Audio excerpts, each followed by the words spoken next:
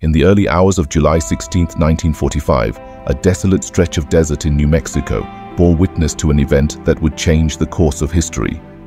J. Robert Oppenheimer, the brilliant physicist and the director of the Manhattan Project, stood at the threshold of a momentous experiment, the first ever test of an atomic bomb.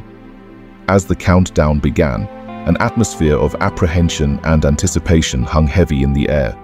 But what captured the attention of those present that day was not the explosive power of the impending test, but the words that escaped Oppenheimer's lips, words that echoed the ancient wisdom of the Bhagavad Gita. Now I am become death, the destroyer of worlds.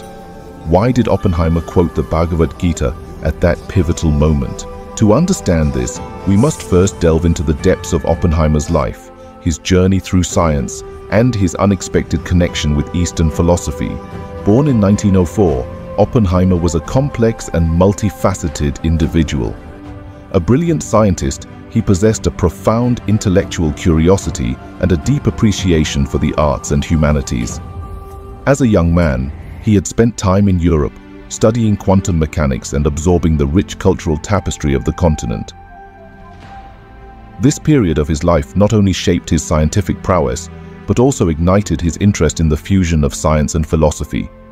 The 1930s saw Oppenheimer emerge as a key figure in theoretical physics, particularly in the field of quantum mechanics. He was at the forefront of the scientific revolution that was sweeping the world, where atoms and subatomic particles unveiled the secrets of the universe. However, as the clouds of World War II gathered, his scientific pursuits converged with the harrowing reality of the times. The Manhattan Project, a top-secret effort to develop the atomic bomb, was born out of the urgency of the war. Oppenheimer was tasked with leading the project and harnessing the power of the atom to create a weapon of unimaginable destruction. This endeavor was fraught with moral dilemmas, ethical quandaries, and a profound sense of responsibility.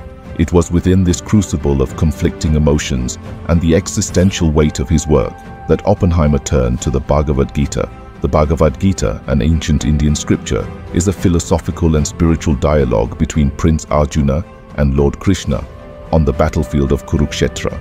In it, Lord Krishna imparts wisdom about the nature of life, duty, and the eternal soul.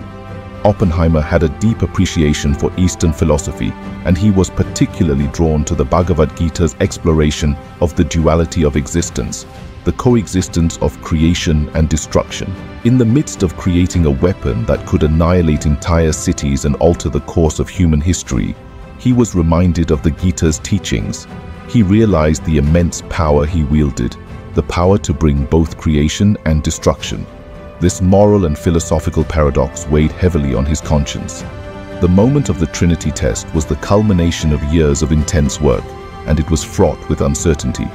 Oppenheimer knew that success would mark the birth of a new era, but also the dawn of a devastating force.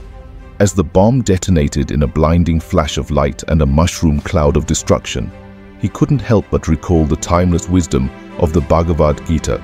In uttering those words, now I am become death, the destroyer of worlds, Oppenheimer acknowledged the profound transformation that had occurred.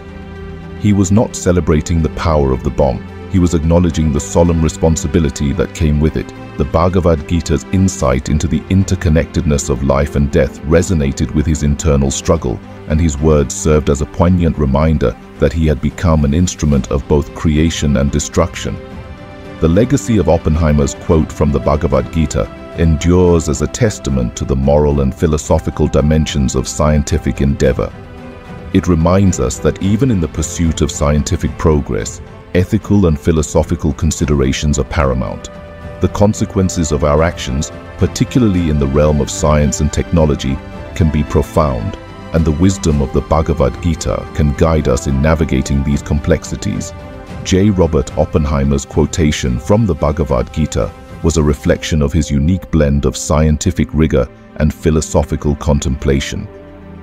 It was an acknowledgement of the immense power he had harnessed and the moral and ethical dilemmas he faced.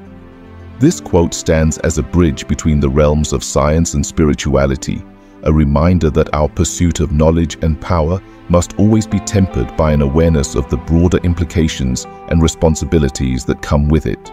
The Bhagavad Gita, with its timeless wisdom, continues to inspire us to navigate the moral complexities of our ever-advancing world. If you found this video interesting, please leave a comment to let us know. Don't forget to like, share, subscribe to the channel, and ring the notification bell for more engaging and informative videos. See you in the next video.